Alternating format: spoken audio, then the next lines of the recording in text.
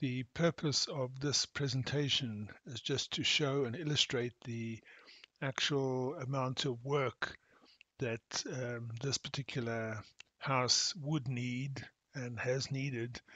And uh, on, on, first inspection, I thought it's not worth salvaging. But um, yeah, so if you have a look at the uh, some of the roof beams are rotten, especially in that entrance area. And then in the main area, it's not so bad.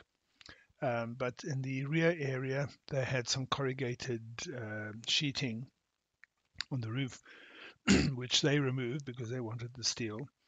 And uh, so we had to basically demolish that rear section and rebuild it. And uh, we created uh, yeah, something that looked a lot better and a lot more stable. This is more or less just to keep their hay and to sometimes house some of their goats. And